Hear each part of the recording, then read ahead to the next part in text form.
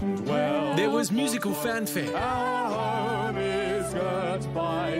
And guests who'd flocked to hear speakers' thoughts on wokeism, cancel culture, gender pronouns, climate denial, and other gripes. The Hunter Biden laptop scandal. Woke identity politics. I was absolutely right about Harry and Meghan. I don't like the climate cult. There were also socialism sucks stickers, promises of free Margaret Thatcher coffee mugs if you join the Institute of Public Affairs, and the chance to have your photo taken with none other than Donald Trump's cardboard cutout. So great, so great. Outside, angry anti CPAC protesters threatened to storm the building, claiming the event was pushing ideas of inequality and bigotry. In making attempts to try to get into the International Convention Centre. Inside, a cacophony of conservative thinking. We believe in the family. We are in a war against authoritarianism. Champions of common sense. Above all, we believe in free speech. What a feeling.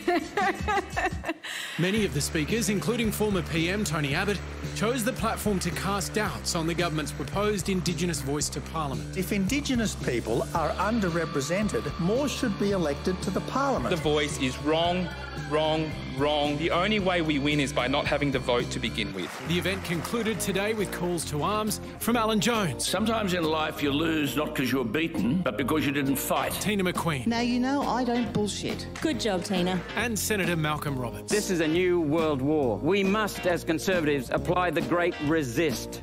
So, did CPAC Australia edition win over any new hearts and minds? To be fair, the mugs look pretty dope. I am obviously completely out of step. What about you? Are you out of step and out of touch too? well, Associate Editor at Crikey, Cam Wilson, was at the conference and we caught up with him a little earlier. Cam, this conference comes at a time when the Conservatives in Australia have taken a real hiding both at the state and federal levels.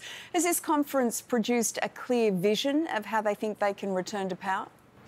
Yeah, a, a, lot of the speakers at this conference have talked about the enemies they need to defeat.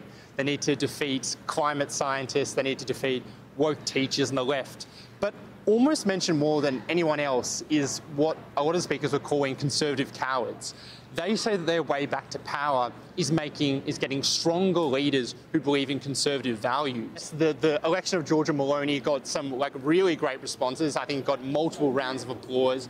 They are saying that they, they they're kind of defiant. They think that they can get back to power if they stick together and build an international movement uh, like they're trying to do here today. So rather than like moving back to the centre, they think if we move more conservative, we can convince more people of our cause through that.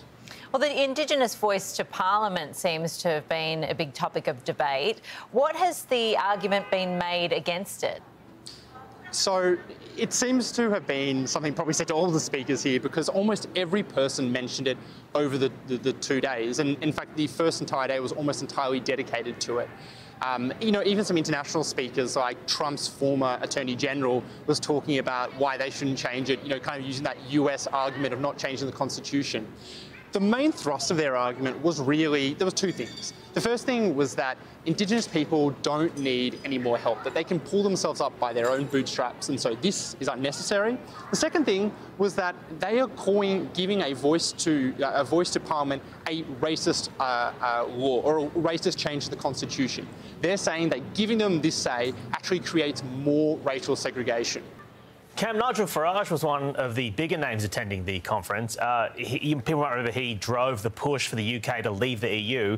Is he pushing for Australia to leave anything?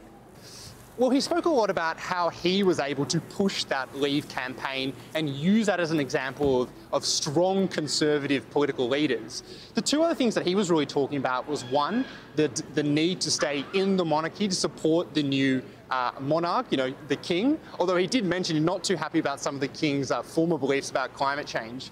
Uh, but the second thing was that he was talking about how they need to have more Christian leaders. And it's a very interesting thing because a lot of the international speakers actually mentioned this. They spoke about how um, there, there's a need for Christian leadership. I know that plays really well in other countries, but even here at a quite conservative conference, when they said, you know, we need these Christian leaders, it didn't get, I think, the response that they, they kind of thought it was. And I think that that's because Australians have a bit of a different relationship between religion and politics. All right, Cam, we'll have to leave it there. Thanks so much for joining us. Thank you.